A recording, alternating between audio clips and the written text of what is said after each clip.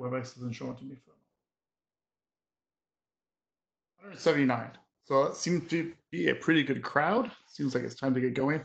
Um, I just posted into um, the Jabber uh, the link directly. I see some people are having trouble with some of the media materials, um, getting them downloaded successfully. Um, I don't know what the problem is. Uh, I do know the individual uh, slide material is directly available under the ADD group webpage in Data Tracker under meetings and then the meeting materials for this IETF 107. You can directly download them there, uh, or you can just watch your screens and play along at home. So welcome to the first meeting for ADD. Um, uh, couple points. Uh, this session is recorded. Uh, please make sure your video is turned off at home. Uh, mute your microphone unless you are speaking. If you want to join the queue for um, comments, please put a plus Q. Up, up. I'm, I'm, getting a message here from somebody. Um, please put a plus Q into the WebEx chat session. If you want to get out of the queue for speaking when we open the lines, put a minus Q um, and we'll keep track of that and call you when it's your turn. as well, please do not use the uh, WebEx chat session for conversations to the whole group. Uh, for that, either use Jabber or use direct uh, messaging between people. We're going to try to keep the main chat session in uh, WebEx uh, for managing the queue. So um, up there on the screen as well, we have the pointer to Jabber and to the Etherpad.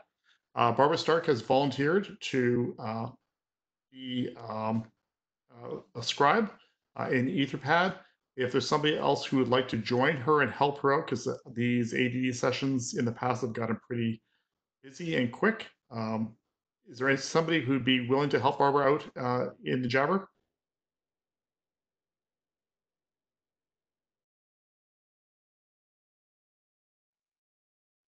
Okay, I see one person in, or I see one person in Jabber commenting. So, uh, so okay, so we got got some some people in Jabber. We got some people Etherpad um, I think we are set to go. Um, for those who haven't read the instructions for the remote participants, uh, the way we're doing blue sheets is for people to go into the uh, Etherpad, and at the bottom of the Etherpad, you'll find a list of names and affiliations. Go ahead and add yours to that list, please. Okay. So moving on, and bear with me, first time we've done this.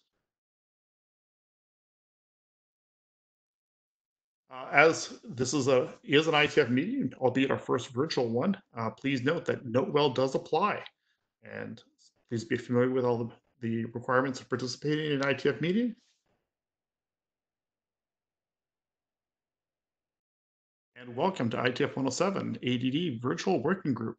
We're going to go for the next two hours and talk about the wonderful world of discovery and conveyance of information about resolvers to clients. This is our agenda. Um, David Lawrence and myself are your chairs. Uh, we'll have an agenda bash, uh, followed by, uh, uh I believe Chad Hardie is going to speak to the draft he and Jari have put together, uh, talking about resolver, distributed resolver selection. Uh, then Tommy Pauly will speak on discovery selection directions. Dan Wing will present two different working drafts. then Daniel Migault will be our last one, and then we'll have uh, hopefully have 15 minutes left over for some Q and A's. So since we can't see each other, I thought you might like to see who's who to blame. Uh, there's myself and there's David. Uh, and there are the links to the Etherpad and to the Jabber. I'll give everybody a minute if they want to grab that. They're also going to be on the other slides. So any comments, any uh, things that people would like to uh, alter, change on, the agenda? Speak up uh, uh, by adding your plus sign to the queue or comment in, in into um, the Jabber, please.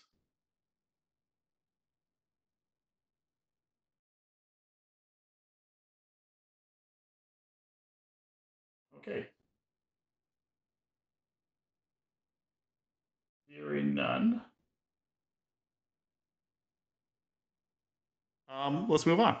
So, uh, welcome to ADD. Uh, this has been a long time coming. Uh, we've had a couple of BoFs that touched around the topics of um, where ADD eventually ended up. Uh, this started out as, as sort of a, uh, a very DOH centric uh, discussion.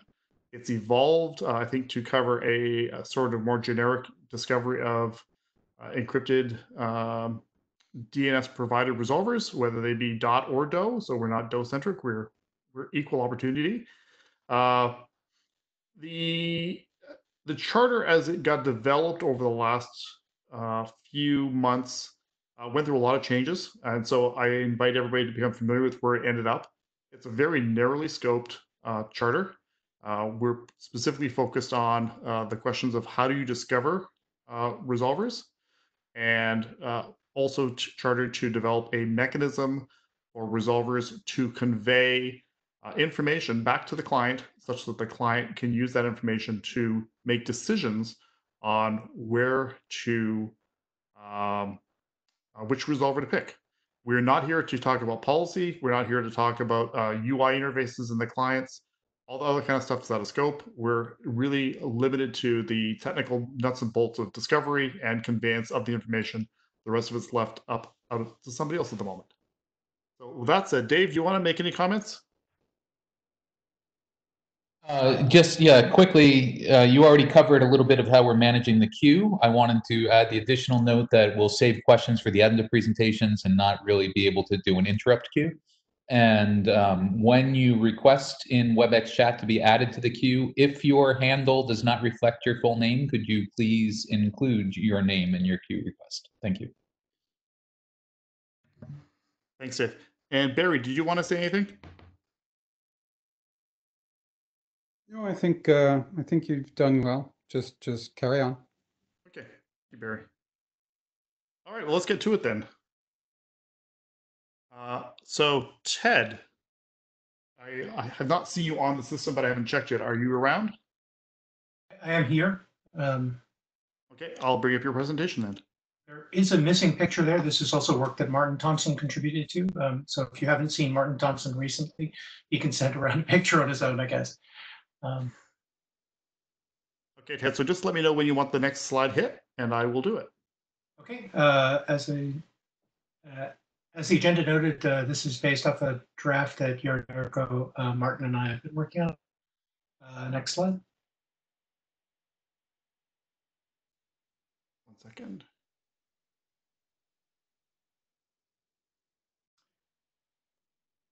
And so this is the key question we're trying to ask here: uh, is can you reduce the concentration of information about client activity by distributing across different resolver services? And the reason we're talking to you about it, uh, even though it's not strictly about conveyance, is it goes to the question of how many of these might you uh, collect if you are uh, a client that is looking for DNS services or trying to gather information about DNS services. Uh, clearly, if you need to collect in order to uh, accomplish a particular strategy more than one, knowing that and knowing why you might use more than one DNS uh, resolver is important. next slide, please.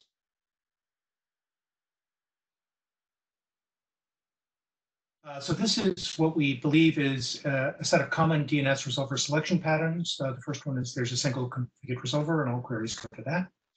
Uh, the second is there is a resolver used for all the local interfaces, but a separate resolver uh, configured for VPN interfaces. The last is that there are per interface DNS resolver lists. It's our intuition that these are kind of roughly ranked in terms of commonality, but I'm afraid we don't have any data to share uh, that would either demonstrate that or tell you what the approximate numbers are for each one. That's just kind of our rough understanding. Uh, next slide. Uh, and this is sort of what happens uh, when you have this set of uh, configured resolver, uh, what the query patterns look like. Uh, so in the first case, uh, there's one configured resolver, so that resolver knows everything about the client's query traffic, but no one else does, and that's an important thing that didn't quite fit on the slide. Uh, in the second case, uh, there's a resolver used for all local network interfaces, but a separate resolver configured for VPN interfaces. In this case, the common resolver gets all the query traffic except for the VPN, and the VPN gets all the traffic passed through the tunnel. Um, in the per interface DN, DNS resolver list, it does exactly what it says in the team 10. Each resolver gets queries only for the traffic on that interface.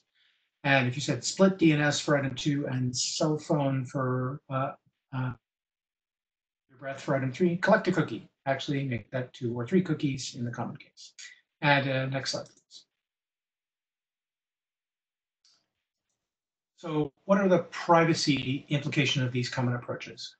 Uh, well, one thing that's fairly obvious is that if multiple uh, ones of these resolvers configured, sent all of a specific client's queries to all of the resolvers available to it, then all of them would know about all of their resolution events. Uh, that clearly is not going to be the best way to reduce the information um, being leaked out into the world about the client. Uh, there are a few clients that actually do this, uh, primarily ones which have no bandwidth constraints and very requirements. Uh, but it's not really uh, a very privacy focused um, uh, view of how to do this. Um, in the second, the send all queries to one resolver, that obviously, and that resolver seeing everything. if that's a resolver that you believe is not going to leak that data further, that can be an appropriate approach. And having a separate resolver for VPN interface avoids queries via that network leaking, right? So if you don't want uh, the information on what's the network VPN leaking out into the world, um, that's that's a useful thing to do, but you're probably still going to get a whole bunch of uh, information going to a single resolver. So politicalparty.org, recreationalhabit.com, and traveldestination.info are all still probably going to the same uh, resolver.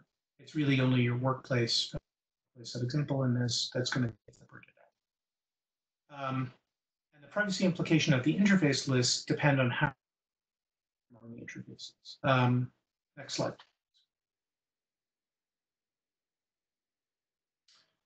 So, uh, can different resolver selections improve privacy? Different approaches than the ones above. Uh, next slide, please.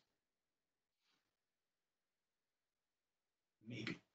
And you can see that tentative about this uh, this uh, response. Uh, next slide, please.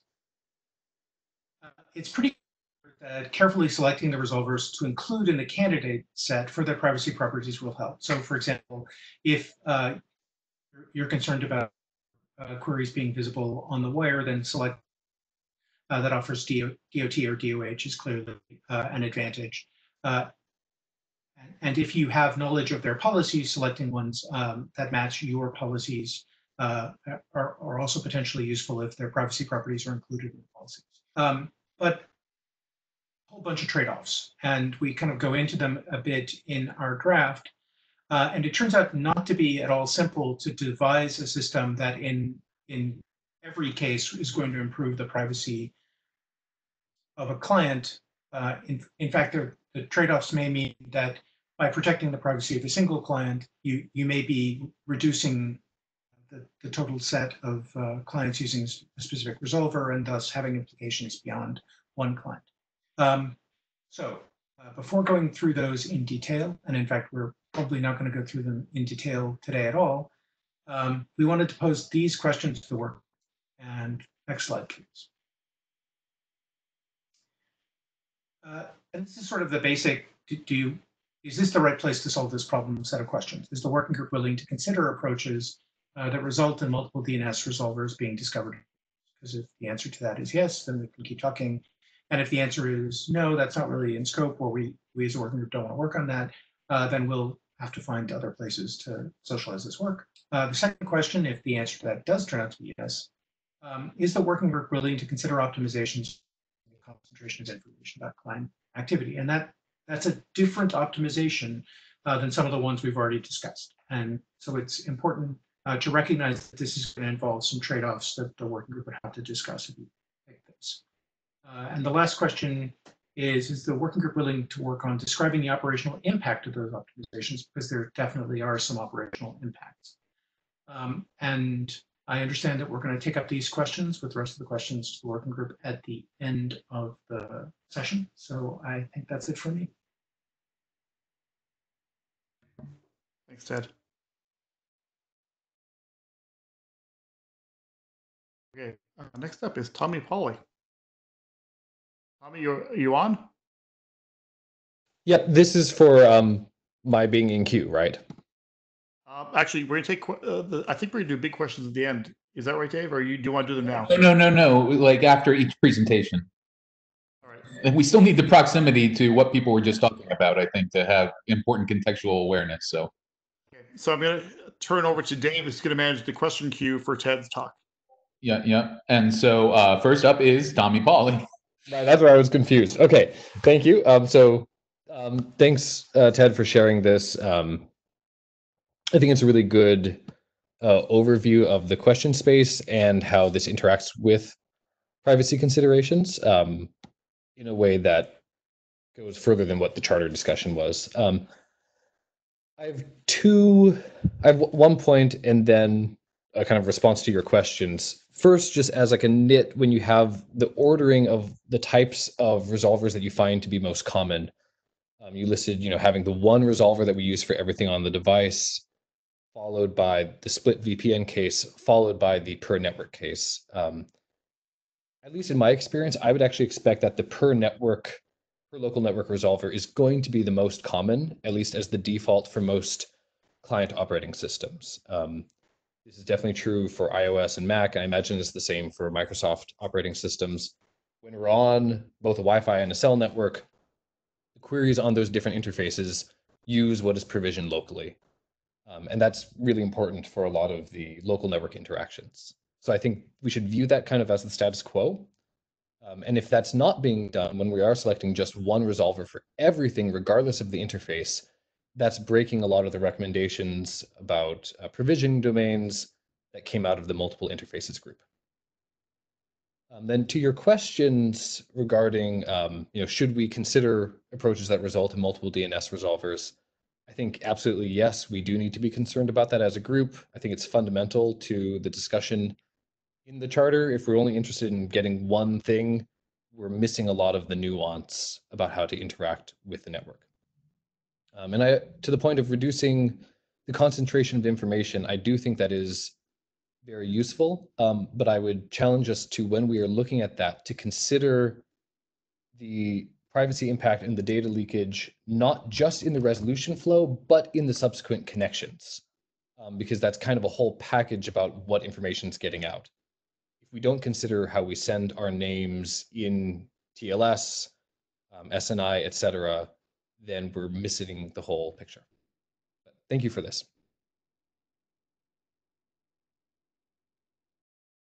Uh, thank you, Tommy. And now Mohit Sethi, please. Uh, Hi. Uh, So Ted, thank you for the presentation. My question was uh, about the interface selection. So I, I'm assuming that what you mean by interface is if, if a device has multiple interfaces like Ethernet, Wi-Fi, and mobile broadband, then you perhaps use uh, different DNS resolvers for them. Uh, I, I- I guess there needs to be some some more detailed information like is it is it fine that you discovered the DNS resolver on that interface, but that interface is no longer up because most stacks currently allow you to only have one network interface up at a time. I know there is MPTCP and, and so on, but even though the laptop I'm currently using does support all three, I'm currently connected only with it with mobile broadband. So I think some perhaps some more explanation whether that interface needs to be up or like can I also use the DNS resolver that was discovered when the interface was up in the past but is no longer um, up and running and I'm no longer sending traffic on on that. Uh, yeah, I, I guess some more explanation would be useful. Uh, Thank you. Improve the language in the draft around that. Um, I think uh, the primary thing that we're trying to get at though is if you have multiple interfaces, um, which has a different DNS resolver associated uh, with that interface, it, it could uh, the large scale case of a split DNS, right? That I think Tommy was referencing, uh, where each one of these interfaces might have names uh, that are available only via that network um, or um, have characteristics that are only accessible through that network. You would associate the name resolution uh, to a specific network interface using that. Um, I think we anticipate ADD coming up with different strategies than the ones we've uh, had in the past for discovery of uh, DNS resolvers. And then the question becomes, um, does that set of um, mechanisms take this potential um, optimization into account? Um, and I think if there are different uh, mechanisms being developed, we might not end up in the situation where the answer to your question is particularly obvious. So I think we would have to work through that to on.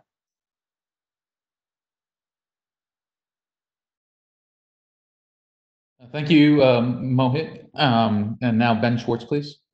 I, I just want to make also a quick note that I'm gonna close the mic queue after um, Warren, who had just signed on. And uh, because we're going to try to get the next presentation, to keep it on time at uh, uh, uh, half past the hour.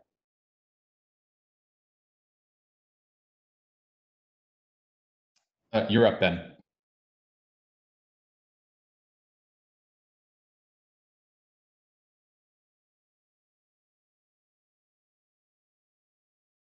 Okay, I'll drop Ben down one in the queue if uh, Pete Resnick is ready to talk. Oh, yep, Ben just said in chat that his mic isn't working right now. So uh, Pete, can you come on while Ben tries to get that sorted? You bet. Um, so one suggestion for the draft and then a question. The suggestion being, um, and especially given what um, uh, uh, Tommy said, thank you, Brain, about um, the ordering of these things.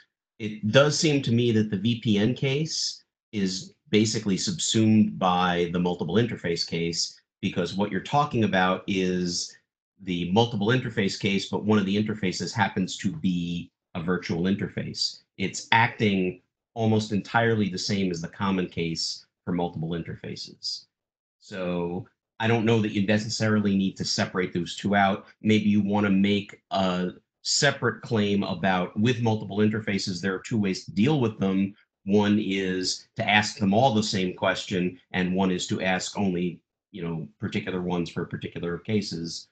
Um, but I think it's worth uh, having a go with that.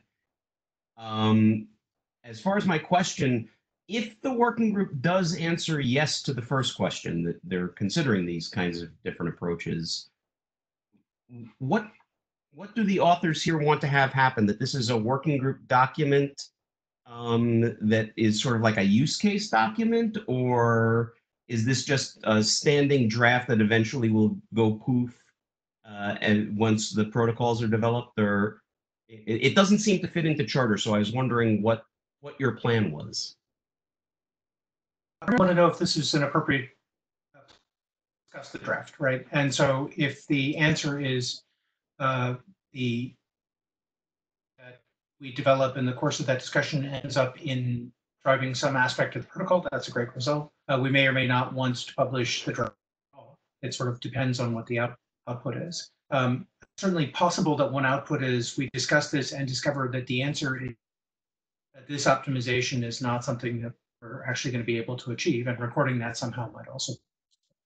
Uh, but I think it's primarily is this the work working group mailing list we're going to talk about this on. Cool. Thanks.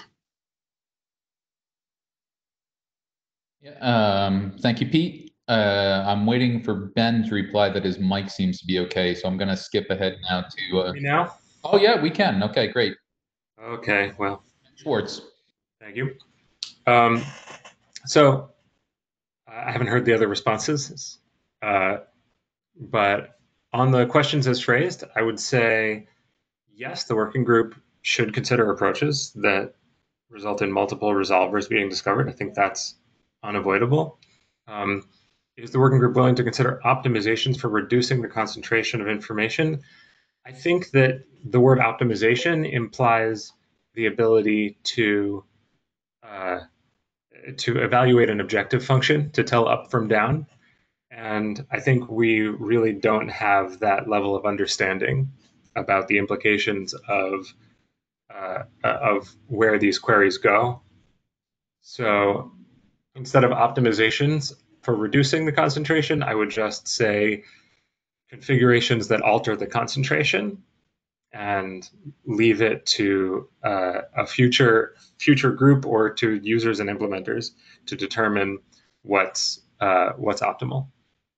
And on describing the operational impact of those optimizations, similarly, I think that we should spec we should not speculate. Uh, we can certainly describe obvious interactions with other existing systems, but I don't think that we should guess at higher order effects that they're likely to have.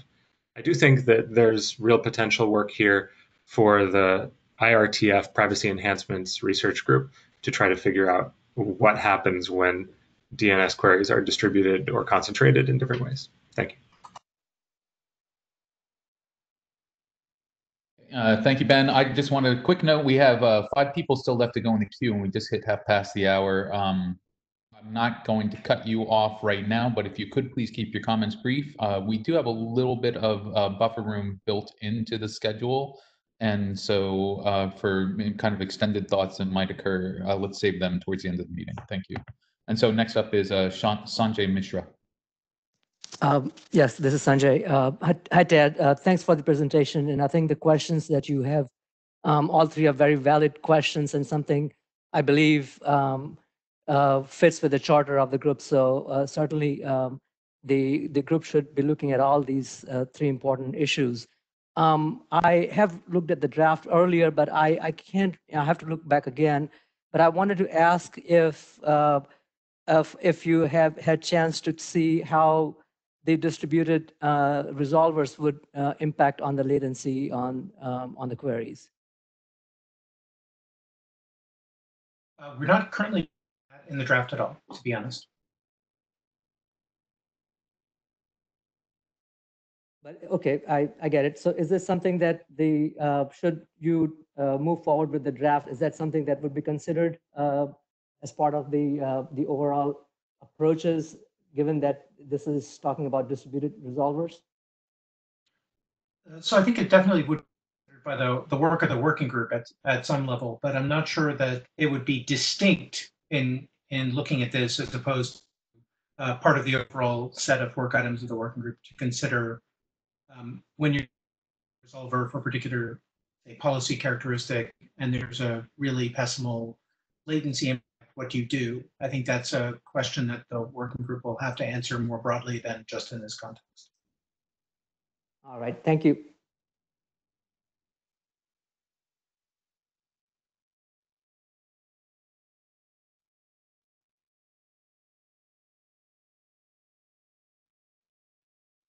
Okay, just to keep things moving, because Chris might be having microphone problems. Uh, Eric Rescorla, please. Um, so I, I think that like there's a bunch you're sort of raising here, Ted. Um, I think there's a there's a there's an interesting problem in here sneaking tr- trying to trying to climb out of the presentation, which is say you have a bunch of apparently equivalent um, resolvers. How ought you to to to manage your queries for privacy? And I think that that section that that section of the draft is is pretty interesting. Um, um, and in particular, a lot of things people obviously might want to do like are really terrible. So it's like really good to have that pulled out. Um, I, I guess I'm not sure I'm as interested in the questions you're raising on this slide.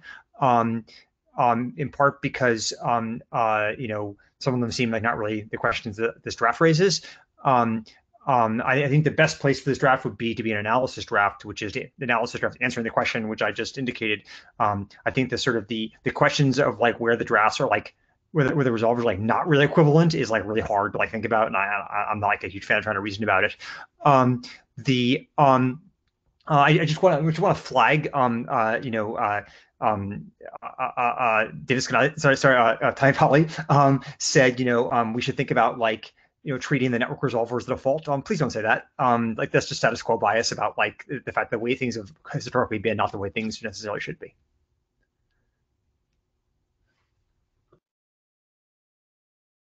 Thanks for feedback, Ecker. I'll, I'll, just note that there are some cases in which we can't really assume that the set of DNS results are equivalent.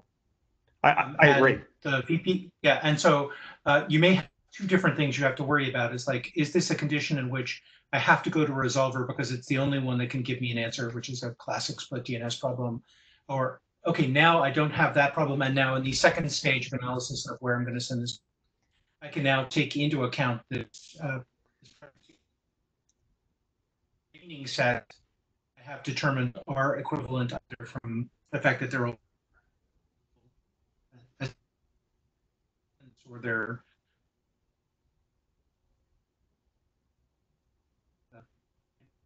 or whatever it is it's going to cause them to be equivalent. Um, basically, that they're all going to return the same answer to the same query. Sure. You agree with that this two parts of the Yes, I, I agree that there are th- those two parts that I'm not sure if people can hear me because I was getting glitches, but I agree those are the two parts of the tree. I guess I'm suggesting focusing on the second one, not the first. Okay, great.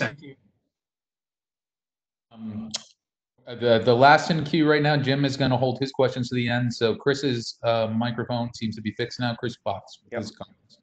Okay, hi. Um, so I was going to say plus one, yes, I think this is a topic that needs to be explored by the working group. Um, on the list, I was trying to make a couple of points. Um, the first was that using multiple resolvers implies multiple privacy policies. So if the user was to rank these in preference order and using more than one implies you're accepting the second best and the third best and so on. Um, yeah, so we've had some discussion about, yes, well, all of the ones that we're looking at are good enough, but I think it might not be so straightforward. The second point is that the current model of using a stub resolver in the home re requires trust in that forwarder, but outside the home, all recursives have no visibility of the individual clients inside the home because they only see the aggregated view. Um, moving to clients using additional resolvers outside the current network implies sharing that per client identification with those resolvers. Um, so that's that's a privacy loss in some sense. Whether it's an issue, it needs more exploration. Um, but I do accept that if the local stub resolver is insecure or compromised, yes, that's an issue. That's a big issue. Um, so that's it really. Great. Thank you very much, Chris. And as I said, Jim uh, will held, hold his comments to the end. And so back to you, Glenn. Great. And thanks, everybody. Uh, I'd just like to remind people uh, we seem to be missing a few people uh, on the blue sheet um, sign up in the Etherpad. So if you're on, uh, please go there and sign up with your name and affiliation. All right, Tommy Pauly, you're the next contestant. All right. Thank you very much. So um, this is going to be an update on some of the thoughts we've been having around draft that we presented last time in DPRIVE and in the ABCD BOF. Um, I apologize, I haven't actually updated the draft yet, um, but I did want to have this discussion, especially in light of some of the stuff we were talking about in the last presentation. Next slide, please.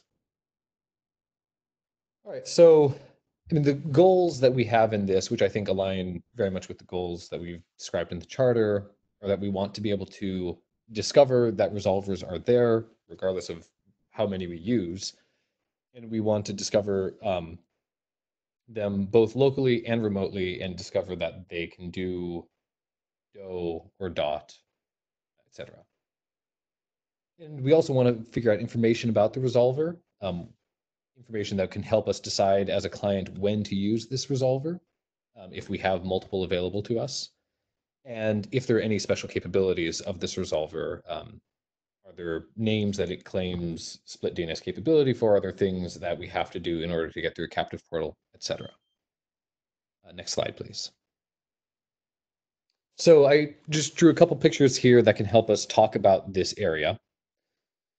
Um, so here's what I'm describing as like a status quo model. We have multiple devices. They each have their own local DNS server. If they're on the same network, this would be the same one. And they're reaching out to different websites um, or other resources as they're resolving these names. Next slide. So when we go to a model that we have kind of one or some centralized list of trusted remote resolvers. We imagine now that we are not using local infrastructure, we have some remote DOH server or DoT server as it may be. We do all of our resolution there, and then we get to the same servers at the end of the day. Um, so this definitely has some benefits of not exposing names to the local resolvers, but as um, was brought up in the last conversation, you know, maybe this is centralizing more information onto that one server, we need to make sure we can trust that external resolver pretty well. And it also doesn't change any of the stance about what is exposed about the um, end web service that we're getting to. Next slide, please. All right, so we can also have multiple servers. Um, I think when we talk about multiple resolvers here, there is a big question of how do we know when we should use them if we have multiple. Um, there are different strategies that you could take. You could just distribute it. Um, it could be up to the client. But next slide. Um, what we are discussing in this document is trying to couple the notion of which resolver we use with um, which names we're trying to access. Now, this does require some bootstrapping or um, figuring out what your names are in general. But when I'm accessing names within a particular domain, let's say for example.com, and I have lots of sub resources on example.com that may give more information about what I'm doing, it seems like one of the best privacy stances and efficiency stances in general is to have that information centralized with the entity, um, entity in quotes, that is actually going to be serving that content because it um, is both authoritative for it, um, but also is already going to be receiving my connections. And so the amount of data for granular lookups that's being leaked out into the world is minimized. Next slide, please. All right, so this is one approach you could have to how to use um, multiple remote resolvers. Um, so in general, why are we interested in designating as resolvers for, for domains? So the argument here is that having the same entity terminate your TLS or HTTPS connections, also terminating your DOH, um, gives you good benefits. Um, it does reduce the number of entities that's seeing the names that you're accessing for a given client IP address, um, assuming that you have to talk to this server anyway at the end of the day. Um, and while it is true that this entity that you're resolving to is going to see many resolutions for things under example.com, for example, um, it's also the entity that is serving the names or is at least related to that entity. Um, so it's probably aware of these clients anyway. Um, it also becomes easier to have optimizations later. So if we want to be able to have a client upgrade its connection from a DOH connection into a normal TLS connection, let's say Google at some point was able to do DOH onto one of its servers, and then I could just upgrade into another connection. Having a notion in which I know that I should be doing my resolutions to the server is a beneficial thing. So next slide, please.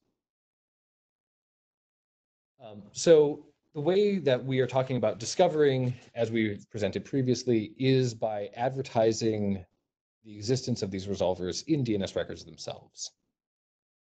And this is a relationship in which when I do a resolution and request a record, in this case, a HTTP service record or a service binding record for a given domain, it can include a DOH URI template that it knows is authoritative for that domain.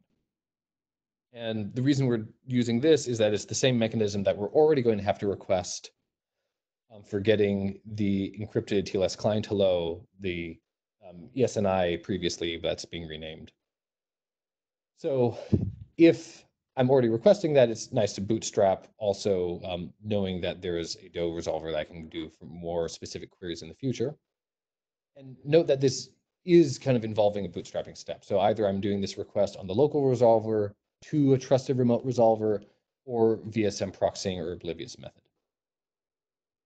Um, and then similarly, we need to be able to discover local resolvers. Um, and the proposal here is to use extended information on the provisioning domain, which comes from your RAs or DHCP to get um, a notion of how to access your local resolver in encrypted fashion. Next slide, please. All right. Um, so as far as getting resolver information, the um, proposal here is to have information that we can get specifically from a DOH server off of a um, JSON blob that we're, we're, just using the provisioning domain existing blob here. Um, so if we access a specific well-known URL off of that server, um, specific to this DNS URL template, we can get more information that can be extensible about this server. Um, this information can include um, the URI template itself um, that can be useful when you have a local PVD that tells you here's my um, here's my DOH server. And it also allows giving hints or information about um, split DNS and other domains that we want to include. Next slide, please. All right, so this um, this designation does need to be trusted in some form, and that's why I want to spend the rest of this time going over. If we do have DNSSEC signed records, that we believe is a good um, indication that the owner of this domain and the, the entity managing it is aware of the DOH server or the DoT server that you are designating. And therefore, we have some reasonable reason to believe that this designation should be trusted. And this could be done on the local network as well. So if your local network actually did own Comcast owned Xfinity namespace, they could let you know that the local resolver was indeed authoritative for that and designated. However, um, we have certainly gotten a lot of feedback and we recognize that it's not always possible um, to deploy DNSSEC easily, especially for very large deployments that may come at some point, but that's not an easy bar right now. So we've been looking at other mechanisms to get a similar form of trust. Um, so in the same way that we want to have a relationship in which the owner of the name is kind of pointing back to the DOH template or whatever other encrypted resolver you have, we want to have some proof that the owner of this name is pointing back. So the proposal here is that we could have in my extended information about my resolver a hint that it claims that it's designated by example.com, but then we can go independently do a separate resolution for the top level domain of example.com without using the DOH server at all. Fetch it, do TLS to there, and if we see that indeed a well-known URL at example.com says, yes, this is my DOH server, then we have some reason to trust this. It's more round trips to do this bootstrapping, but it can get a similar effect to DNSSEC. Next slide, please.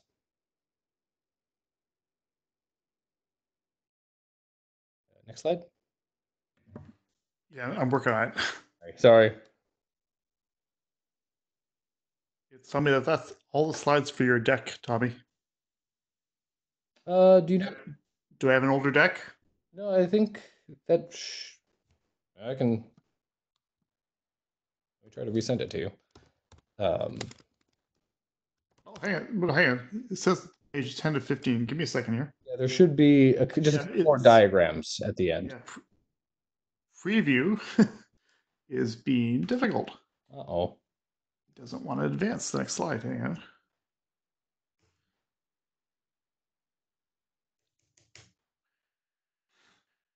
If it's not coming up, it's not critical. It's mainly um, it was just some diagrams to explain that last point. I have to restart preview. Give me a second here. Okay. I'm going to kill preview and restart it because it doesn't want, want to advance to any next slide. So give me one second, please. That's good.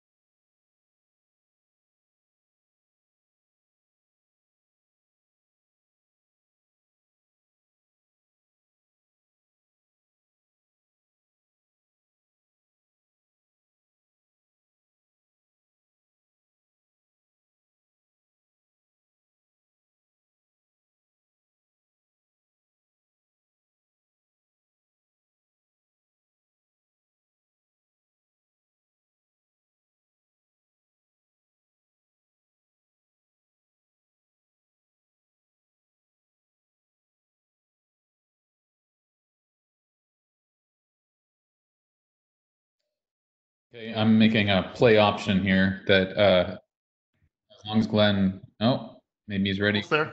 Yep. Okay. Ah. Nope. Doesn't want to invite advance to the next slide. Give me one second. Let me see what's going on. Okay, So- well, we have a couple in queue right now. So while you're fiddling with that, um, uh, Eric Rescorla, did you want to jump in with your first comments here? Yeah, I mean, this is this is cool. Um, uh, I, want to make two points: one trivial and technical, and one more substantial. Um, the trivial and technical one is you indicate that this is the same information as is needed for ESNI, and that, that is at some level true, but at some level it's false. And the level at which it's false is that ESNI does not really require the data to be authenticated. Um, um, this is kind of counterintuitive and is covered in the draft in, in the SNI draft quite a bit. But the, the executive summary is that once you control the DNS, then like the SNI information is effectively lost because you can like for instance return a unique address for every SNI. And so like and so having the the, the SNI crypto keys authenticated isn't very important. Um, whereas that's not here for for, for obvious reasons. Um, the um, um, because you know you're, you're for instance detouring the traffic from you know your from one place to another. Um, the um, um, the, the, the more uh, uh, more relevant point or more larger point, and I think you and I have talked about this before, is that this seems to have some really quite severe failure cases. Um, um, and, and so, for example, imagine you have a um, a served by two CDNs, A and B, and ordinarily A would get 10% of the traffic and B would get 90% of traffic, and you use Sidexis, for instance, to swap them, right? Um, so what happens is the, the, the structure of this is basically that um, because you're pinning people um, to whatever they happen to get.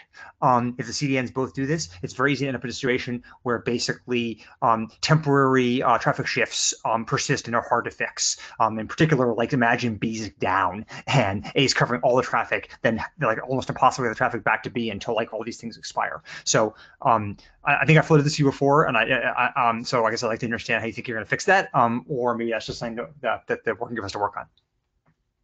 Okay, and before you do, Thank you for bringing that Tommy. I just Yeah. want to say, uh, Glenn, it looks like you're back online and working. So after you uh, continue with your response to Eric, Tommy, could you then just run right back into your slides? Absolutely, absolutely. Thank you. Um, yeah, so thanks, Ecker. Um, yeah, to the point about ESNI not requiring um, DNSSEC, that's absolutely true. Um, I think my main reason for bootstrapping this on the same thing is just that it's a request we have to make. Um, requesting DNSSEC information doesn't hurt even if it's not there. Um, Agreed. Agreed. Yeah. For the other point, um, eh, could, could you just repeat the last bit of bit again? Your second time? So yeah, so so I mean, so my assumption is that the the, the way we'll typically deploy this will be that um that every every every every person in the limit, every large like service provider serving um you know any domain will want to advertise that it um that it ha- will handle the uh, uh the, the DNS resolution for that domain, right? Because because that, that's where you get the maximum privacy benefit. So um, imagine you have a situation where so example.com is served by CDN A and CDN B, and they both advertise um, you know, records that say, "Hey, look, I'm like the person who's responsible for this," right? Um, and that's especially obvious in the in the HTTPS case, which you indicate here. Um, and so, um, and so, my, my concern is that that makes the um, the traffic allocation at any given time extraordinarily stable and hard to change. So, in particular, like say, I, all my traffic goes to CDNA. Um, and um, then I went to new CDNB. Well, that like takes a long time, so all these records have to expire. Um, and um, so I think I think we need some story how to deal with that. I'm not sure what, the, what that is, and I'm hoping you have one. But if not, I guess we'll have to work on one. Yeah. so I I think that's something that I do want to get more input from the group on. I, I see two different um, deployment solutions to this area. One is that a given entity that is distributing its traffic between multiple CDNs could have one single um, notion of its DOH resolver that's in charge of splitting the traffic between the two. Um, that's kind of like this virtual entity that's not necessarily the CDN itself, but some intermediary that's working on behalf of the domain owner for both sides. But alternatively, there's no reason that when I request a um, HTTP service record for a given name, it can't have answers back to me of saying that it actually has two different designated servers that both check out and perhaps we use the priorities in those records to kind of do the weight balancing of who's going to where. So I think there are different ways we can look at it, um, but we'd want some more CDN input on the details here. All right, so to finish the slides out, this is just demonstrating um, the scenarios that we have um, specific to the DNSSEC validation or the lack of DNSSEC. So in the case in which we are able to get a DNSSEC signed record that says example.com designates the valid DOH server, everything's fine. We can do our DOH queries directly to that server for everything under example.com from then on. Next slide, please. Um, the concern is that if you have unsigned records, we of course can't trust those because anyone could just put example.com designates attacker DOH server, and then all of a sudden I use that and you're redirecting my traffic. Next slide, please. So the mitigation that we're talking about using, which does have more round trips, is that I have an unsigned record for example.com. Um, it says, if it says a valid DOH server, I can connect to that DOH server, not request any user traffic, but simply um, do an informational query onto it to get its blob.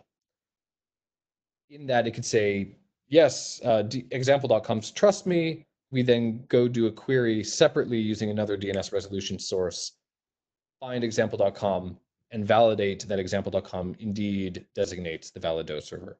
Next slide. Um, so the attacker case, in this case, we would, if they tried to do the same thing, unless the valid um, server with the TLS cert for example.com did designate the attacker DOH server, it would break the chain there and we would no longer um, trust that. Anyway, so that's just a helpful diagram for people and other questions, and we can wrap this up. I don't want to take too much time.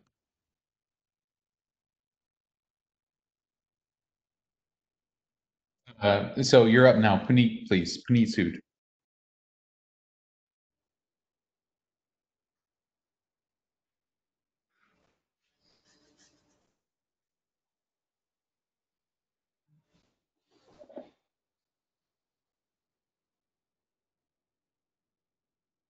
Okay, because we have a lot to talk about. Uh, I realize people are having mic issues and all, and uh, as with previous cases, you'll just get bumped down in the queue. Hopefully Erik Nygren's mic is working.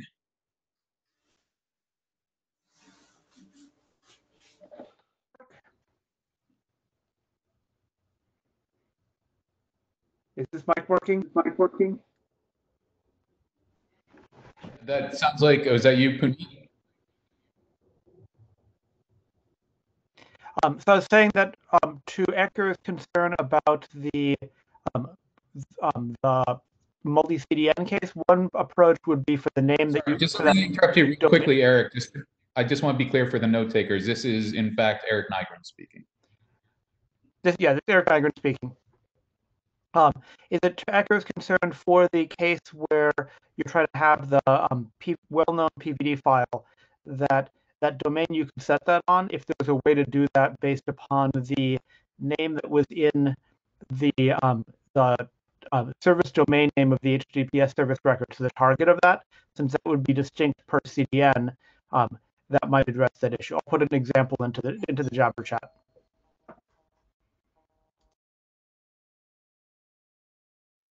Great, thank you. Tommy, do you have a response or? That sounds good. Thank you for sharing that and we can discuss offline. Okay, um, Puneet, is your mic going yet? Okay, on to Andrew Campling, please. Hi, is my mic working? Yep, agreed, Jay. Yeah. Uh, uh, hi, Tommy. Um, obviously, it's a, I think it's a very sort of slick uh, uh way of uh, doing discovery. Um, the one thing you didn't touch on the, in the presentation, um, how would I, as a user, express my preferences um, because at, the moment it looks like the machine's taking control from me. Um, uh, if I want to uh, uh, curtail uh, it, it, from just going wherever it wants to, how might I say I only want to go to particular resolvers or uh, only those with particular policies, um, rather than, than let it fly wherever it sees fit? Yeah, that's a great point and a great question. Um, I think that is something that the working group does need to talk about. And I think, well, it's like the item three on the charter um, kind of covers that.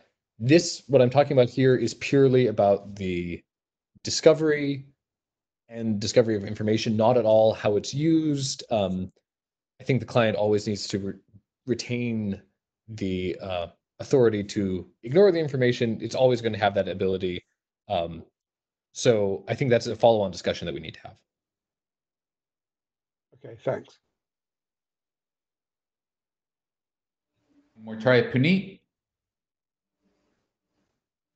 Okay, uh, Ben Schwartz, please.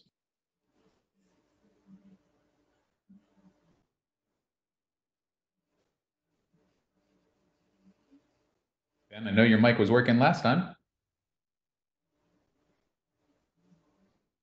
Okay, Puneet and Ben are bumped down. Just uh, Ralf Weber, please. Hello, mic check. Can you hear me? We read you.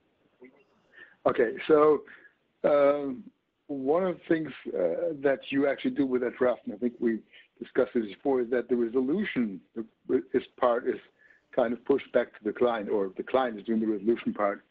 There might be some situations where this actually um, kind of distributes more information about the client than in the current scenario, because if you ask for com, everybody up the chain pretty much, if you ask them via a regular resolver, what the authority for that gets is the IP address of the resolver, whereas in this case, uh, if you have a DOH or DoT server at a higher level domain, then you'll get sort of all the queries from all the clients. So you can actually connect the client um, kind of population and do something with it.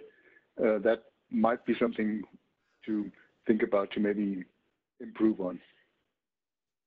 Yeah, and that's definitely a good point. Um, we that's why to the earlier um, discussion we are having of you know when do we distribute our resolutions, I think we need to take into account both which resolvers we're using, but also the ultimate connections we're making. Um, so if you were doing resolutions without ever making connections, I to the same entity, I think that definitely is a problem.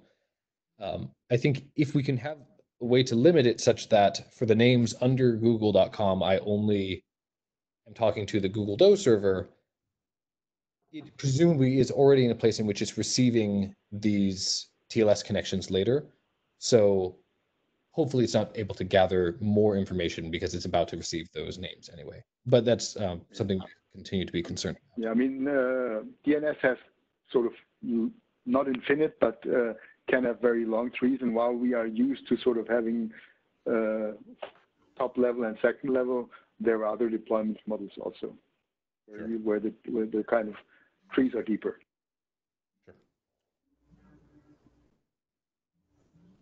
Uh, thank you, Ralf. Puneet is finally back. Hi, second try. Can you hear me? Okay. So Tommy, I'll try to be quick. So the question is, this works well when the DNS and the web servers are operated by the same entity. But for smaller providers where they've outsourced their DNS, this would actually result in providing more information about the client to different entities. And uh, my my concern is that the large websites are generally public, so no one cares if I go to google.com or apple.com, but they do necessarily probably care more if I go to a less popular website. So I'm not sure uh, there'll be a net improvement in privacy for the client. Yep, that's definitely um, a good point as well. I think for the case in which you have a small website that is being run on a CDN. Um, like let's say I have something, a one-off website that I'm concerned about, and it's running on Cloudflare, it's running on GoDaddy or whatever. In those cases, if the entity that is authoritative for the resolving and the connections is that CDN rather than your particular website, that may have good properties. But yes, if you are running your own server completely independently, then um, we do need to be concerned about that case. Okay, and uh, just a quick note from the chairs, we are actually have used up a lot of our buffer in this session. Um, so we will finish with the two comments uh, from the current mic line, but please keep this in mind for the uh, following presentations. So first relaying uh, from Ben Schwartz on Jabber. I understand how the scheme improves privacy when combined with oblivious DNS, but in the absence of oblivious DNS, which is out of scope for ADD, I think this is only a privacy improvement for certain assumptions about TTLs, and some queries will leak when TTLs expire. I'd like to see those assumptions clarified and see if there is a simpler solution, such as using long-lived CNAMEs. I also want some consideration about whether these long TTLs are a tracking vector. That's a good discussion, and that's one that we've been having, and I think we should continue on our GitHub and in the group. Awesome. And for uh, the last question now or comment, uh, Warren Kumari, please. So thanks for the mic. This is Warren Kumari. So someone, I think it was Tommy Pauly, said that um, you know we should only use the Google resolver for Google names, which initially sounds like a grand idea, except that I don't know what a Google name is right? There's google.com, there's Google user content, there's Gmail, there's thousands of other names. And so unless I have a way of knowing beforehand what name should be mapped to a resolver, I can't do that.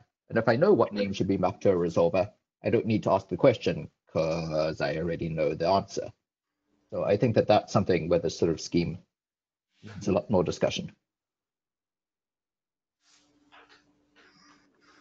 And that, I think that's the bootstrapping question. Um, if we have some oblivious mechanism that we're doing the initial resolution over, then that's slower, but we can trust it. Um, alternatively, there's nothing stopping you from having a, you know, let's say one trusted resolver that you use for your default queries that you think has good properties. But then once you learn that, oh, this domain that I didn't know about actually is a Google name, then you switch it over.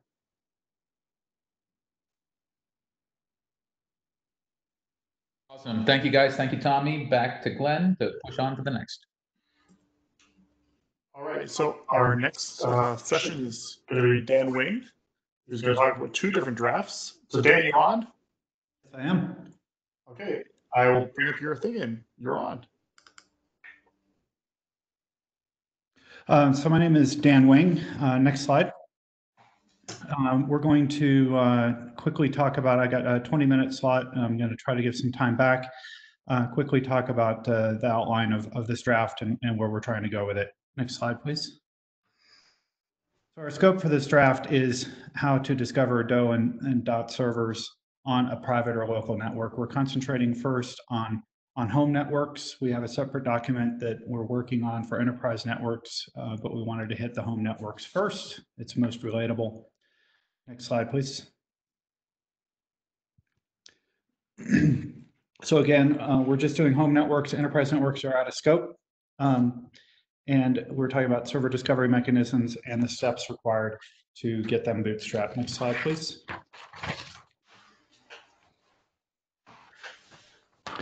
Um, so this is showing a uh, situation where there's a, a, managed CPE, a CPE managed by an ISP uh, talking to an, the top diagram is showing talking to an ISP managed uh, DNS. So like Comcast in the United States is like this. The bottom one is an ISP managed CPE, which is configured by the ISP to go to some cloud um, based uh, resolver like 8.8.8.8 uh, um, over DOT or over um, DOH for both of these. Next slide, please. And then uh, same situation with an unmanaged CPE. So this is where the, the homeowner um, has uh, installed their own equipment and is overriding what the ISP provided modem or cable modem or network equipment is doing. Uh, and both of the configurations are supported here as well. Next slide, please. And this shows the information necessary for classic uh, DNS over 53 and DOT and DOH um, that they all need a list of IP addresses that they get from somewhere, either by making queries or getting them directly. Uh, and then DOT and DOH need an authenticated domain name, and DOH is unique in that it also needs the URI template in order to describe all the different services and capabilities available at that DOH server. Next slide, please. And in our document, we, we discuss ways to discover this information. So of course, for classic DNS over 53, the existing DHCP and RA options are what are used. The yellow shows that what we're proposing is the reference identifier discussed in the document um, for getting the authenticated domain name. And then the URI templates are also discussed in the document, how to obtain those. Slide, please. Uh, and this introduced ver verifies, excuse me, verified resolver. Uh, we talk about what that is in a couple of slides, but this is the the message flow diagram for for how that is supposed to work. The purpose of this is to make sure that rogue resolvers are noticed and and are uh, rejected by the the client. This works by um, having a list of what the verified resolvers are. And when we connect to a resolver that we're given um, by the local network, we verify the signatures that we can obtain from its certificate that we get over TLS. Next slide, please. And it shows the pre-configuration that is that occurs for the verified resolver. Next slide, please. And this discusses what a verified resolver is. Um, so for the auto upgrade case where we switch to encrypted DNS, either DOT or DOH, it's the uh, IP address of that server. And if we're doing ADN, it's that ADN value. We also discuss a situation where the, in, in the draft, it, where the resolver, or I'm sorry, where the server is obtained a certificate, a signature from a certificate authority that is an auditor, so it's separate from the operator. Next slide, please. One of the other things in the draft, and we may want to discuss this and pull this out uh, because it's um, uh, probably appealing for some other situations, uh, but we need to discuss it more for sure, is when the ISP is operating a DOH server, it may want to reflect back or, or send back those queries uh, to the ISP operated CPE uh, to help shed the load uh, and get faster resolution inside the home so it doesn't have to suffer going up the up and back down the access link. Um, so the mechanism that uh, we have in the document, next slide please, on how to do that is uh, to do an HTTP redirect. Now remember this is an ISP managed CPE. So the ISP knows what the internal IP addresses are at that home because it manages the CPE and it can send this redirect back to that CPE. It knows um, and manages the certificates on there as well. Um, so that can be a, um, a DOH server that is signed by the ISP or signed by the auditor, depending which direction we go through, go forward with. Um, but this seemed like a nice technique for getting the ISP DOH server offloaded in much the same way that happens today with resolvers and with dnsmasq um, running in residential CPE. Next slide, please. And those servers and URI templates, uh, so this describes why we need them um, and how we propose to get them. Uh, this is a, pending issue. There's been some discussion on the mailing list um, about uh, best ways to do this, best ways to move forward on this. Uh, next slide talks about some trade-offs uh, and different mechanisms that uh, we've considered in the document. And uh, this this is something we need some more discussion on the mailing list and in the working group for. Part of the reason I'm rushing through the presentation, um, so we can uh, get some more feedback on this. Next slide, please. One of the values of having a um, DOH server or, or DOT server running in the home is that it can identify the different clients inside the house because it can see the MAC address and the IP address of those devices and, and identify that it's a, a child's device or a parent's device and provide different filtering either for content or for malware uh, for that device. An IoT device needs different filtering uh, than a, um, a, a, kid's uh, PC. Uh, so this allows that to occur if the resolution is at the ISP. Um, it's more difficult. There's ways to accomplish that, but it's more difficult to accomplish that because of the NAT that is typically performed at the uh, residential device for IPv4. Next slide, please. Um, there is implementation that's been done privately. We don't have that available publicly yet. Um, uh, that that does nearly everything that is described in our internet draft. And then finally, the last slide is the next slide. Are there any questions? Um, first up is Jim Reid. Uh, please try in your least Scottish accent, Jim. I don't have a Scottish accent, guys. Um, because of the verified resolvers, does that have the possibility for an unscrupulous ISP to the client or the end user into using a specific set of DNS services or servers? So our intent there is if you're a uh, subscriber to Comcast, you would tell your client, I like Comcast DNS, Comcast signed um, DOH servers. And then you would use them.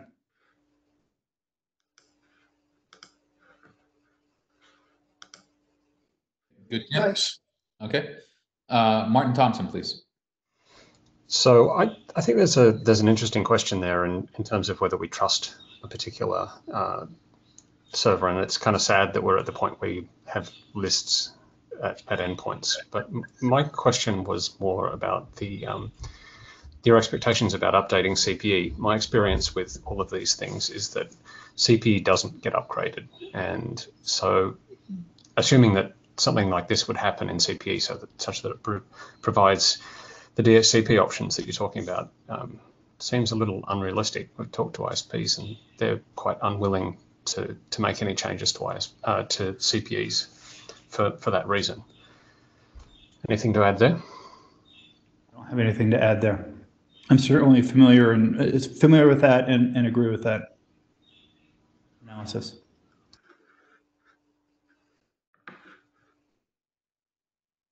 Okay, uh, thank you. Ralf Weber, bitte. Hello. So uh, thanks a lot for that. It's uh, the kind of CPE angle was something that I always thought a lot about, and uh, I, quite contrary to what my predecessor said, is that there are ISPs that manage their CPEs, and on these devices there are frequent updates. These devices are managed. You can kind of uh, rely on them being up to speed and uh, being uh, there for for the subscriber. Now, thing, the question is, you always say sort of do and do when it comes to the connection between the CPE and the ISP resolver and uh, between the, well, client and the CPE. Uh, is there anything kind of that prohibits us to do dot? Um, all of the slide diagrams do uh, discuss dot and do. The only thing that prevents dot is the HTTP redirect that we're proposing to offload the ISP's DOH server. I mean, with alt service, we also can, I'm not sure if that is applicable here, but, uh, or a, well, what's the other thing? I can't remember the name now. There is a possibility from HTTP to get to another protocol, I believe. So maybe we could use that. Uh, we might be able to use that. Um, I'll, I'll take a note of that and see if we can work on a way to do that. Okay, thanks. And uh, Wes Hardaker, please. All right. Uh, I guess make sure you hear me. Yes. Okay. Um, see, one important takeaway, if uh, based on academic research done lately in terms of uh, TTLs, is that if you move resolvers into uh, home devices and, and with the incredibly short TTLs that are out there in the field today, which are mostly around you know five minutes, sometimes they're up to an hour, but um, common practice is unfortunately five minutes. You end up suffering with a a very uh, delayed query when one of the whole points of using an upstream resolver is, is to do caching across multiple users so that you end up you know caching uh, those websites for a longer period of time. Uh, so without forwarding, that's something to consider. But the instant you start forwarding, you lose some of the privacy benefits. Uh, so there's sort of a, a rock and a hard place to choose between there. Yes, that's true. Um, and there's also prefetching that, that is possible to you know prevent the the delay that occurs with a short TTL. Um, I, I agree, and, and that that probably needs some more discussion uh, in the draft and, and perhaps at the working group too. Yeah, the problem with prefetching is you end up prefetching the entire internet. So Yep.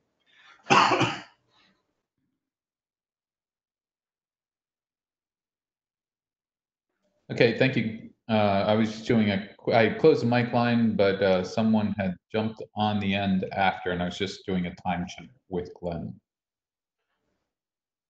Glenn, how are we on time? Uh, I think we should move on. Okay, apologies for that then. Uh, and uh, yep, moving on. Uh, so Dan, you're up next. Let me bring that one up. Here we go. Thanks. Uh, next slide, please. And next slide, let's go to slide three.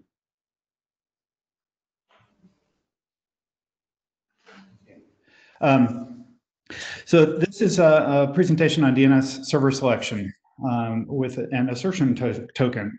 Um, so here we're trying to here we're trying to decide which DNS servers um, we we want to pick. Um, and and it's a it's a simple pick, not like what Ted was talking about earlier, where we rotate through, but but a, a static choice. Um, and, and next slide, please.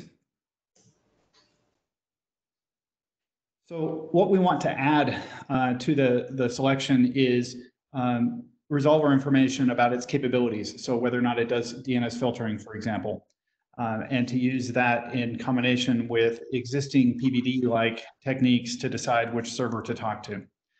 Um, so, and we also uh, would like notification when the policy changes or when the DNS filtering is reconfigured. So if the filtering is turned on or turned off, um, is to have the client get a notification of that because it now may want to change to a different DNS server that follows the policies that it likes or um, has the filtering that it likes.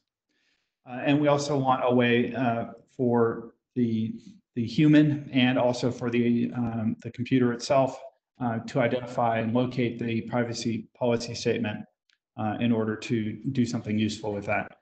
And we're not talking about parsing it. We had talked about that before, uh, but we're not talking about parsing it. We're leaving that up to the end user who, as we all know, don't read the end user license agreements, but that still seems to be the, the best thing that, that we can do. Next slide, please. So currently, we're we're proposing making this choice on filtering capabilities and which is uh, DNS filtering for malware and DNS filtering for for policy like objectionable content and things like that for again all in a home network sort of situations, um, and then also uh, QNAME minimal, minimalization uh, and whether or not the DNS uh, server you're talking to supports that. Slide, please. And the uh, policy attestation is a signature by whoever runs the DNS server. So if Comcast is running a DNS server, they would sign this. And then they may have an outside auditor who uh, validates that, yes, that's how they set it up. That's what they're really doing. And, and they could sign this as well. Um, and then these would be signed by registered organizations. and the important point is that last bullet is that the DNS client is configured to trust uh, the signer of the pad object. So that either that is their ISP, Comcast, for example, the auditor, if they like what the auditor has done, you know, uh, Ernst and Young or whoever might uh, be the auditor uh, that validates that. Next slide, please. And this is just the mechanics of the privacy assertion token uh, and how we sign that. In the in the issues of time, let's jump to the example on the next slide, please. And this is uh, an example of uh, a DNS server that is doing malware blocking, uh, but is not doing any policy block blocking. Uh, a privacy URL that is accessible for the user to look at, and where the auditor uh, and, and their URL um, information is, is located. Next slide, please. And when either of those change, we're proposing to do uh, a, a push that is sent back to the client to tell to tell it to go and relook at the new updated uh, privacy policy or the new updated filtering policies that are being used at that uh, server. Next slide, please. And the privacy statement URL is something humanly readable. Um, the, the, the high level idea here is uh, changes to that can be noticed um, when we connect to it or we get the push. And users can review that information and decide if the privacy policy and the filtering agrees with what they want to do. And then add that DNS server to their list of approved DNS servers that is then used in selection. Next slide, please. That's all I have. Any questions?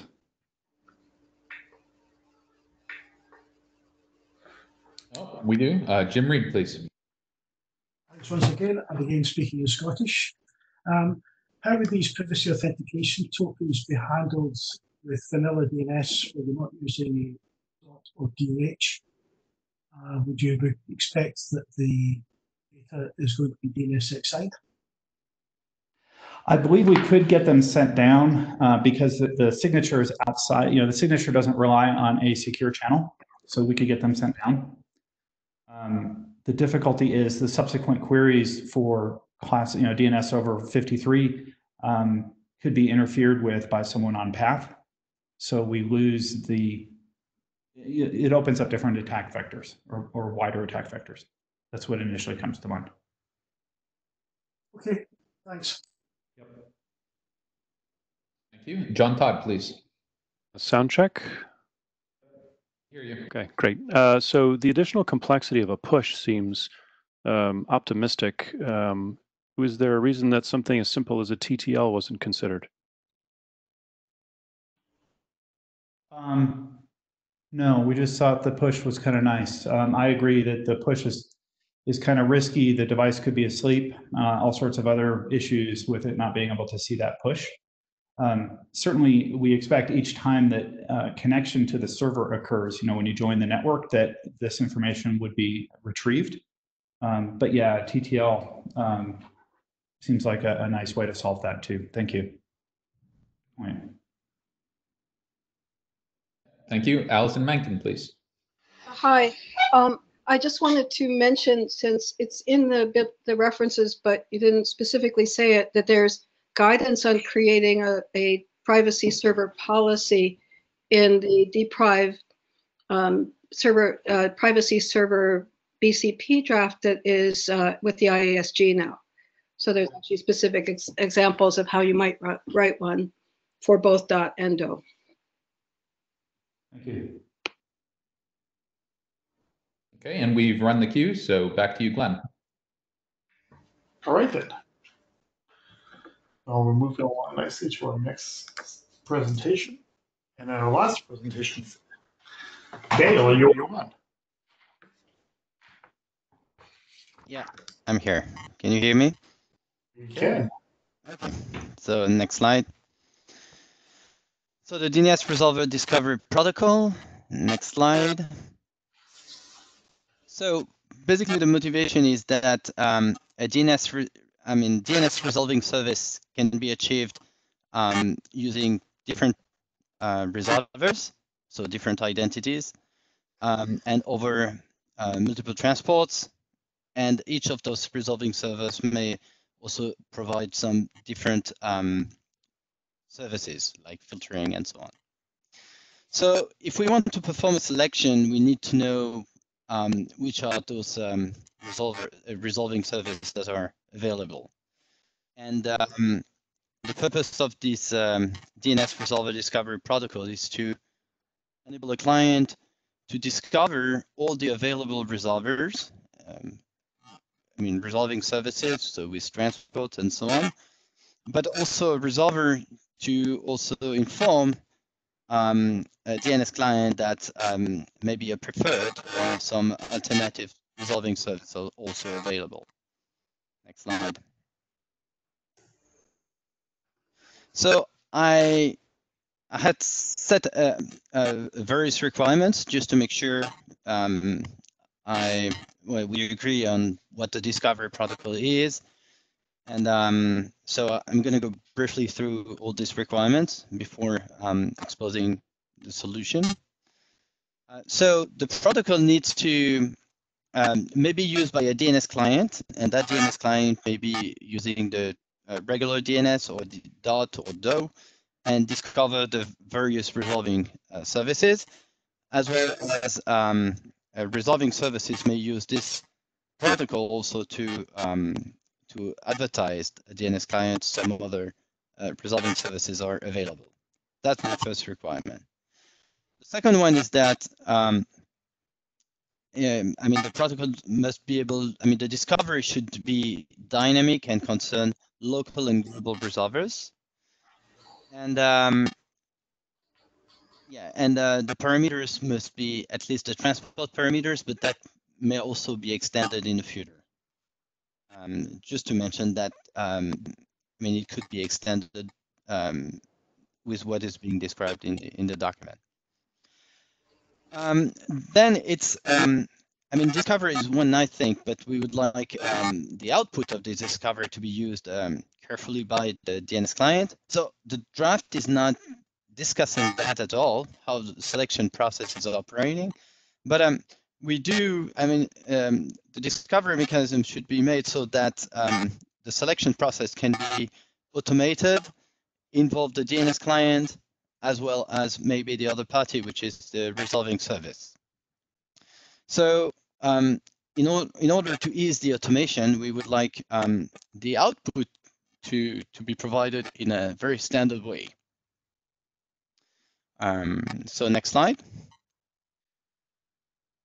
And because, I mean, um, the configuration and the selection can also involve the end user, um, we would like that um, the output could also um, be presented to the end user and so be understood by that end user, as well as requirement six, which is maybe the end user just want to uh, be involved into a subset of those um, uh, output um, provided by the resolver discovery uh, protocol. So um, at some point, um, he might be, be, able to delegate that to the um, resolving service to choose what um, the best option. Um, then another um, requirement is um, if you know you want to look only for resolving services that belongs to one category uh, instead of the other, uh, maybe you should be able to narrow down the discovery so to a subset of uh, resolving services. In this document, I'm considering the DO dot and uh, um, uh, 53. Um, yeah, the the um, information provided by the uh, the protocol should be um, authenticated. And um, I mean, the protocol should not disrupt the legacy protocols and uh, sh should be also be integrated by the, um, the currently used uh, DNS clients. So these are the requirements I used. Next slide. I suppose we keep the question for the end unless someone is willing to, to jump, um, raise some questions. So the information returned by the um, the discovery protocol. So I mean, um, I think one of one of the important uh, parameters, discovery parameters, is the um, the identity of the resolver. So um, how can we represent the resolver? So I'm basically thinking that we can use a host name and a resolving domain. So the resolving domain in this example, if we have hostname.example.com, would be example.com. Um, it, it, it's close to an identity because it's quite meaningful to the end user. It's close to the legal entity in some cases, um, though it's not user friendly, but it could be used as a key to um, to retrieve uh, um, information that you. I mean, um, you would like to present to the end user in some case. And uh, we believe um, that if um, the end user has to select a resolver, it needs to be, it needs to have some familiarity with the, um, the DNS um, DNS names. So we believe it's it's pretty fine. Um, host name, on the other hand, we don't believe it's it's it's um it's a so meaningful information, and we don't expect it to be uh, presented um, to the end user. And then for an identity associated to this that, that identity, we have a resolver parameters. uh, which concern the transport, the TLS, URI templates, specific services like filtering, and so on and so on. Um, um, domain names that are also authoritatives and uh, and so on and so on. So next slide. So at a high level view, we have a resolving domain, like uh, example.com, and um, under that domain, you all the the flavor of the resolving service are uh, found, and um, the protocol is basically using DNS message to um, discover all those um, uh, parameters. Next slide. DNS being the language between, I mean, understood by the DNS client as well as by the resolver. Um, so um, when the discovery protocol is performed by the client, the first thing is to discover the resolving domains, local and uh, global, and um, then discover the, the various flavors of the resolver within that uh, resolving domain. When performed by the resolver, I mean, it's like a push, um, it should send this information back um, during um, a DNS exchange, for example. Next slide. So to discover uh, the global um, domain, well, we're using a similar idea than um, um, than a DNSSD. We're using a brow browsing domain and a special domain, which would be a DNS.rdns.arpa. And this specific domain name is going to list all the globally available resolver. Um, not the resolver, but the, the resolving domains. Um, and then for the local domain, the lo local resolver, and usually you've been provided an IP address through a DHCP or Router advertisement. So you simply do a reverse um, DNS resolution to that IP address, and you find hostname dot um, resolving domain, and that domain should be the one uh, associated to the resolver. That's right. So if you want to discover all the different flavors under a resolving domain, so in this case, the um, the domain is example.com. So you want to discover the DNS service. So you you you add the underscore dns.example.com and you do an SVCB um, request. So you have the interactions to um, all the different flavors. So here um, we mentioned the legacy resolver, uh, the preferred example choice, um, and um, the others um, uh, flavors using uh, DOH, for example. So that's basically one way to do. Then if we want to uh, make the discovery among a subset of those resolvers, so only, for example, those implementing DOH or DoT, for example, we can go to next slide. And so the first thing is that a PTR um, PTR request will list you the different uh, sub subservices, subset of um, um, resolving services. So in this example, we have uh, um, DO53 uh, DoT and DOH, and then I mean you, I mean, uh, the, the answer provided by the PTR, you can do uh, the discovery among this subset of resolvers. Um, so you can see, well, I mean, the only difference is that in one type you have a like a service subtype, which is indicated by the port, the standard port of each of those um, resolving services, and then um, you you have um, the S, um, SVC parameter keys and uh, SVC parameters values that you need. Um, that's going to be useful for um, the selection. So some of those um, SVC keys I thought of were so the URI templates, a user interface a string, um, uh, names the resolver is also authoritative for, and uh, maybe uh, names that have a private uh, view on that. So all this kind of information could could be added um, um, into those strings. So next.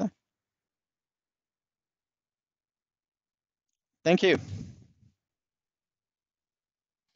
Thank you, Daniel. Uh, Ben Schwartz, please.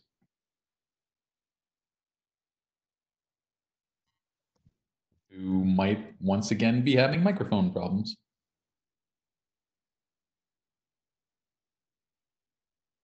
Puneet, how's your microphone doing? Hi, this is Puneet here.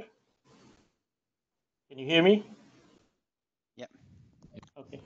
Hi, Daniel. Uh, this is interesting. Uh, the question, and it may tie in with like the resolver info draft, which Paul and I wrote. But the one thing I do not understand here, uh, maybe I'm missing something, is how is the list of resolvers generated and who is responding to the queries with this information to the client? So, um, I mean, you're. Um, can you repeat the question? I, I mean, uh, we had a burst. Sure. So, one question one who is generating the list of available resolvers here?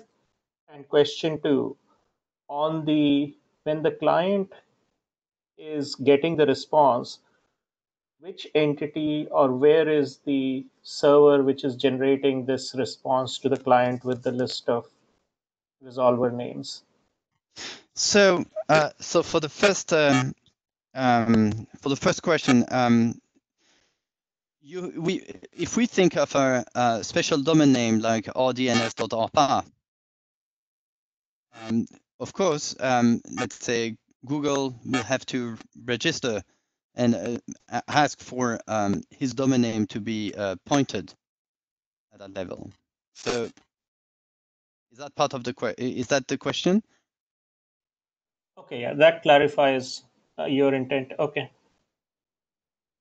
So that's in. Um, I'm trying to find out.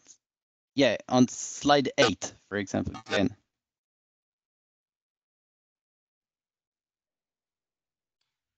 I think uh, Glenn is pulling that up.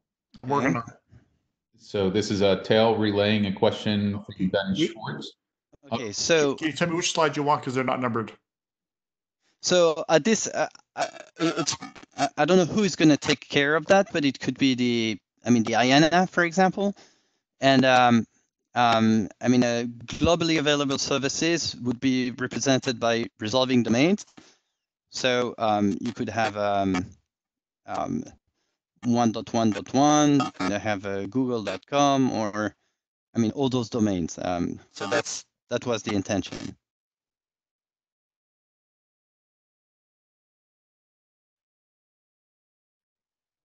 Okay, Puneet.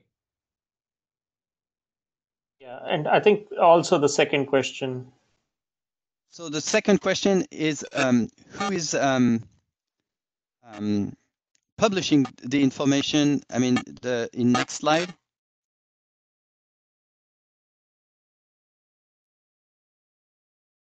Is that the second question? Who's publishing this information? Yes.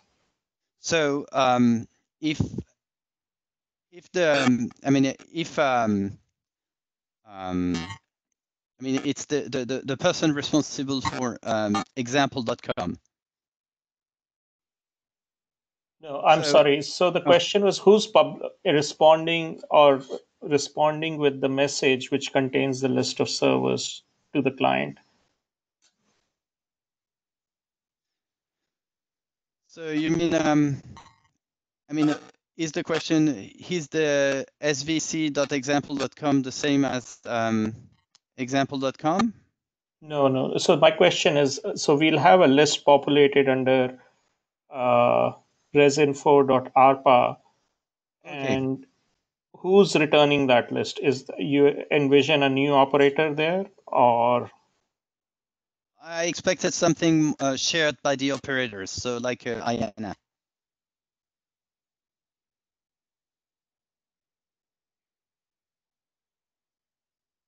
okay? Uh, Like the root servers.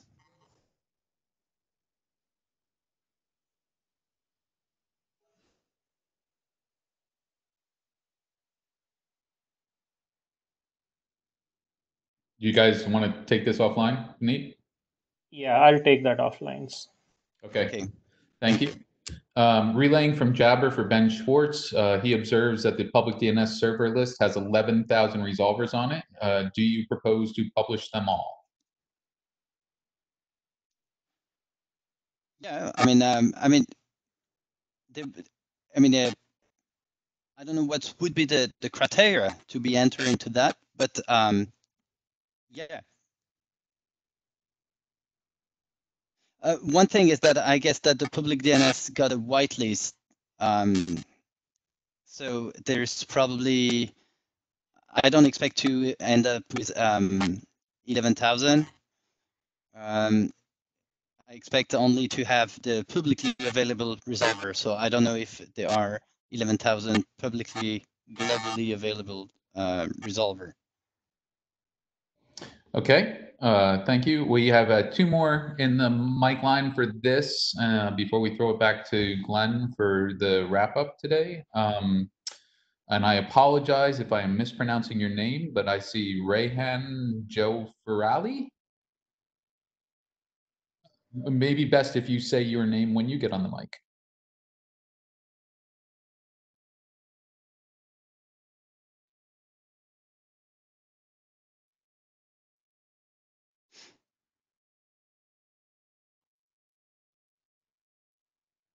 Okay, um, not hearing anything there, so let's move on to uh, Harald Alvestrand. Hi, Harald Alvestrand here. Uh, just a comment on uh, having a global list of servers.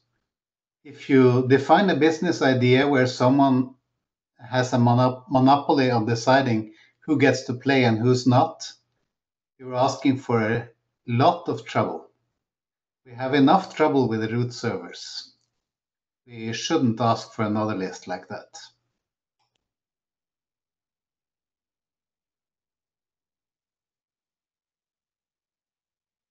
So um, yeah, uh, sorry. Um, it's um, I think the, uh, the the the point is uh, on who is able to decide who can come in and not be in. Um, I, think this list is going to exist anyway, so um, as long as it's, it's open and the, the process of integrating that list, um, I think it's solvable. I do understand the risk, and it should be considered. Yeah. Thank you for the comment. Uh, you might also want to consider what the CA, CA browser consortium has to go through with uh, validating CAs. It's kind of the same kind of thing.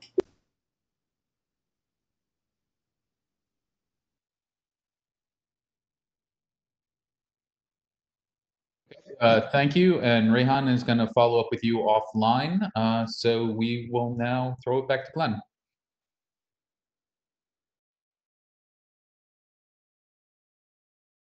Okay, so thank you everyone for the comments, and I'm happy to, to take that um, offline or to continue. So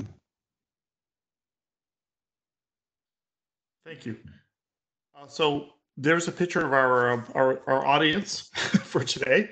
Um, so we have 12 minutes left. Um, I would invite people to either either the Jabber or someplace else to you know give comments on how they thought this ran, um, and what worked and what where things can improve. Because we have a bunch of other uh, groups that are going to meet later this week that can learn from our experience, being one of the first ones to try this. Um, so the intention in the next couple of minutes is basically if people have uh, some Q and A um, that they would like to ask of the chairs or of the of the group in general, the ADs, uh, about about where the ADD group is going or what the next steps are. Um, this is your opportunity. Of course, you can always do it in the list. And uh, Martin Thomson, right up to the mic, please. So one of the things I saw in the presentations that we had were was a lot of concentration on the specifics of discovery mechanisms without a great deal of uh, discussion about what it is that the the uh, the requirements are and, and I guess the principles that are driving that. I think Dan got into some of that with his presentation, but um, I would like to see us talk a little bit more about what we thought the principles were. We saw Tommy with one approach, we saw Daniel and Dan with different approaches to, to discovery. I'd really like to, to say, well, are we talking about networks providing this information or are we talking about something else? Because um, obviously Tommy's going in a different direction. Um, all right, I'll pass. Uh, thank you. Paul Hoffman, please. Uh, I this is Paul Hoffman. So I was about to say something very similar to what Martin just said. Um, one of the things that drove the creation of this working group was the question of simply how do I discover whether I can upgrade from um, unencrypted DNS to encrypted DNS? Um, and I hadn't seen that in any of the presentations today. I would be interested to know if the working group still finds that to be um, useful um, because I would think that that would be easier than almost any of the other proposals. Thanks. And thank you, Paul. Simon Hicks, please.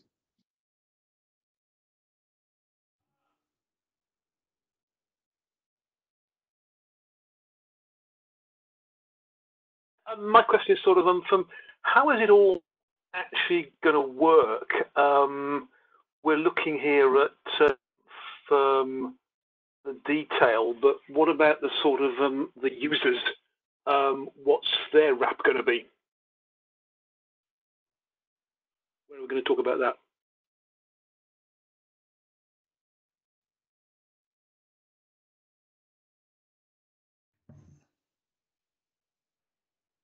So Simon, I think your initial comments got cut off. Could you could you start where you started off again? Sorry sorry, yeah, um, yeah. I was asking, um, from where are we going to talk about this from a user perspective, um, rather than um, the detail of implementation?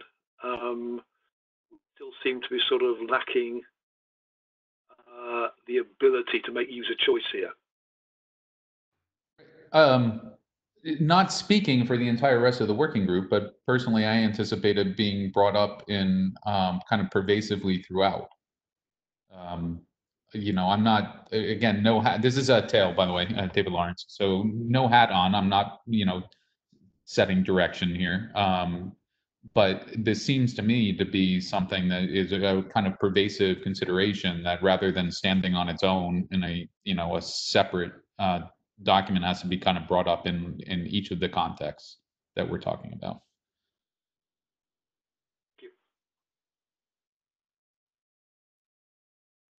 Uh, Chris Box, please. Hi, yeah. Um, I just want to agree with what Martin Thomson said. Yeah, I, I think we do need to discuss requirements and principles first. Um, it's just tricky to get agreement on that, but yeah, let's let's start it in some form.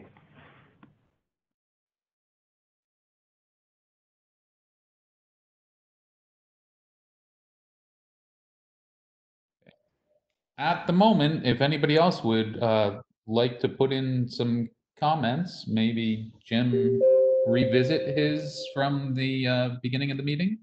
Otherwise, we are actually not only going to end on time, but slightly early. Okay, I'll jump in just for a quick moment um, to go back to the document from Ted and Jari, start of the agenda we need to look at what that impact is going to be on enterprise networks. And maybe the document will have somebody have to say something like spreading the query load or the query traffic across a bunch of different servers is something that's probably not going to go down well in enterprise nets.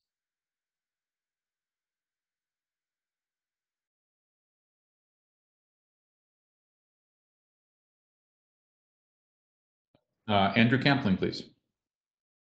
Uh, yeah, just uh, um, going back to, to I think it was uh, uh, Simon's point about the user, uh, the voice of the user in this, um, and maybe making it slightly complex. Uh, that the user might be the uh, enterprise network administrator, or indeed the parent. Uh, I think some of the, the, discussions touched on that briefly, but I think we need we need to make sure that this isn't just a slick set of options for clients, um, that completely bypass the uh, user of, of the uh, device um, and assume that the uh, client is all knowing and all seeing in, in this. So we need to make sure that the user is included and it might not be literally the end user of the device. It, may, it might be a, another entity that, uh, such as the, the enterprise admin.